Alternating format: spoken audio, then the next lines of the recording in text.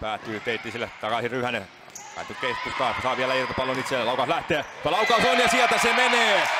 Koskela jalko välistä se loppujen lopuksi menee ja Ilves siirtyy 1-0 johtoon.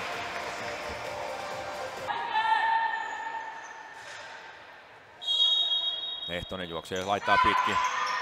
Häkköläinen ei ennätä tähän tilanteeseen enää ja Lehtonen tasoittaa tilanteeksi 1-1.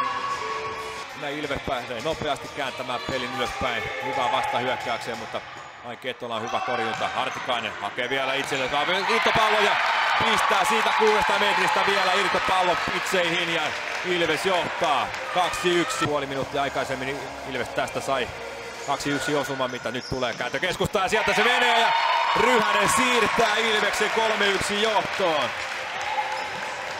Teittinen näkee, että siinä on nousunsa.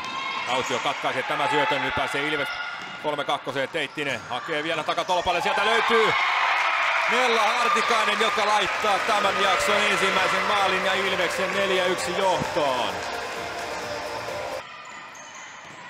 Herranen sen jälkeen vielä keskustan kautta menettää Enveena. Nyt pääsee Enveena yksi läpi ja pistää pallon, pallon maaliin ja kaventaa tilanteeksi 4-2.